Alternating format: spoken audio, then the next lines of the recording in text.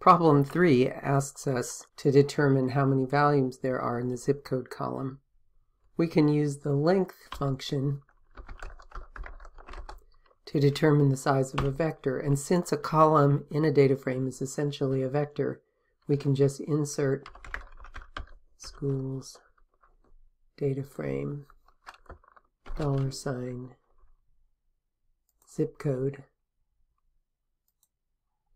and it tells us there are 169 items in that column.